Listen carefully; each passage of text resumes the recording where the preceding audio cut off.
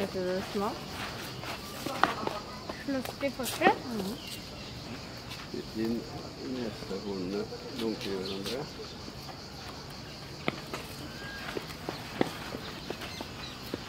Dette her setter man på sølvkjøttet. Er de hornene tung,